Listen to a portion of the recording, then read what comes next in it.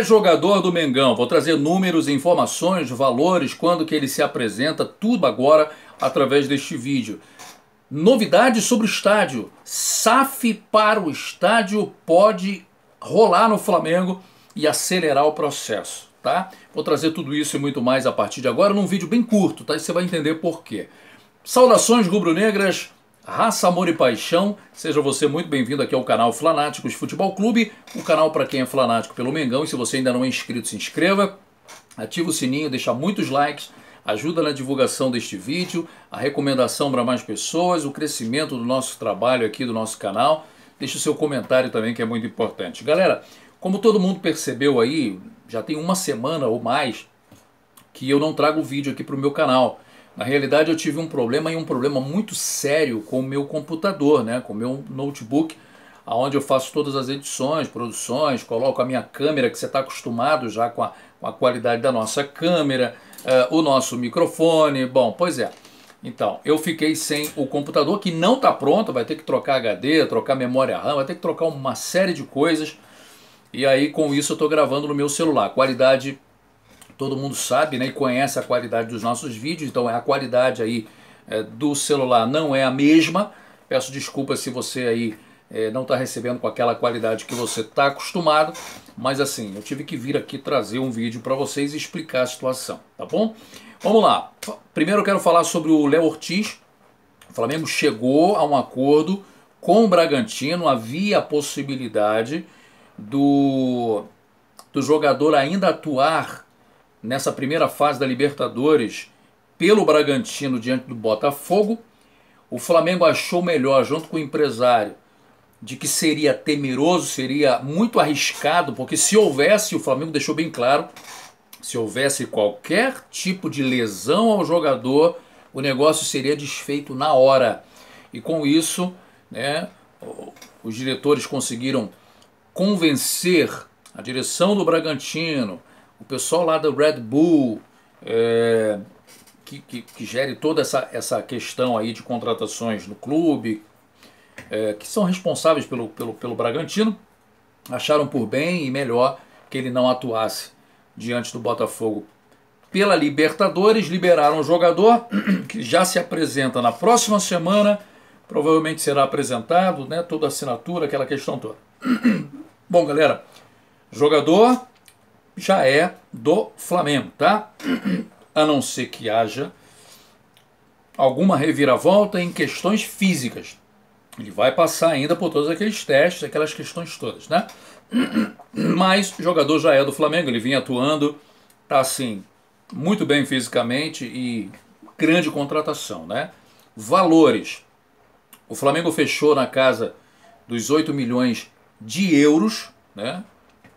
É, contendo ali metas de títulos e outras coisas mais, valor parcelado.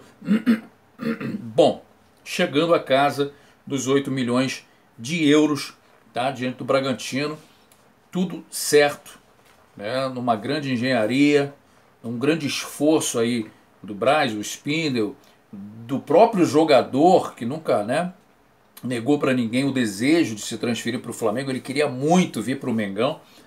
E do seu empresário também, todos fizeram um grande esforço para que o atleta fechasse com o Flamengo e está tudo certo. Semana que vem ele se apresenta. Rapidamente, como eu disse, o, o vídeo vai ser bem curto. Eu precisava vir aqui até dar uma satisfação a vocês, é, porque eu não estava gravando. E sobre a questão do estádio, avançou bastante a questão da SAF para a construção do estádio dentro do Flamengo e diante dos seus sócios, né? É, daquela questão toda que tem, tudo passa pelo Conselho Deliberativo, houve uma flexibilização e há uma grande possibilidade aí de uma SAF ser anunciada para a construção do novo estádio do Flamengo, que segue sendo ali no gasômetro, antigo gasômetro, Flamengo que segue é, negociando com a Caixa, tem um contrato já praticamente de, de prioridade na compra, né? E confidencialidade, toda aquela questão que eles vêm conversando é, corriqueiramente Então a Caixa não pretende, não pensa em vender para ninguém nesse momento diante desse contrato, a não ser que realmente, diante de todas as tratativas, não avance e chegue a um consenso que não será ali, o Flamengo desista, qualquer coisa assim, aí a Caixa vai e, e, e vende para outro, tá? Mas estão sim negociando o terreno do gasômetro com o Flamengo. Então teremos avanços significativos ainda este ano com respeito a isso e até mesmo com com direito à compra do terreno e construção, aquela questão toda. E você sabe que aqui no nosso canal a gente deixa você sempre muito bem informado, por isso que é importante que você se inscreva, ativa o sininho, deixa o like, deixe seu comentário, compartilha, nos ajuda aí para que esse canal venha crescer cada vez mais e a gente venha trazer aqui, porque nós vamos cobrar muito essa questão do estádio. Então fique atento, que a gente vai estar trazendo novidades aí em breve com respeito a isso.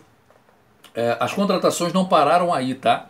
O Flamengo ainda está tá de olho ainda em pelo menos mais um nome para fechar o elenco para 2024, tá bom? É, então, só confirmando, Flamengo e Madureira jogam hoje, jogo importante. Flamengo basta empatar e dependendo de uma combinação, o Flamengo pode ser hoje, né?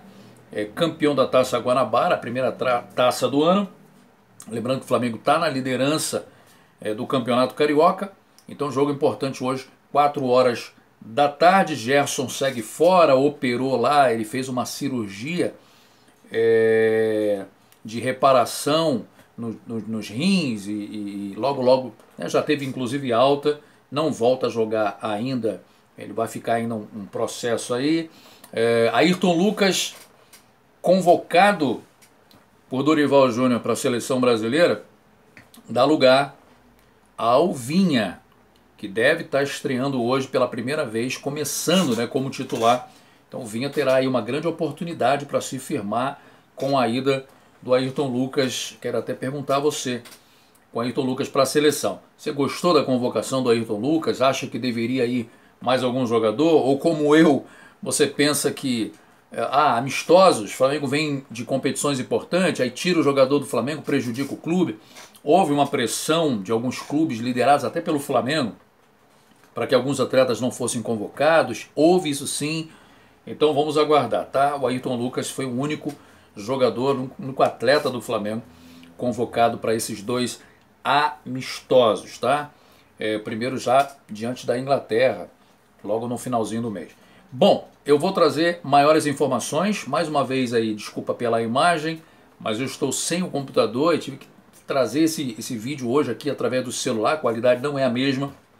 Então, mas eu fiz um esforço aqui para poder trazer esse vídeo para você, essas informações e essa satisfação para você, por respeito a você que sempre passa aqui pelo meu canal, tá bom? Então é isso, assim que tivermos novidades eu volto aqui e trago para vocês. Saudações rubro-negras, raça, amor e paixão, um forte abraço e até a próxima.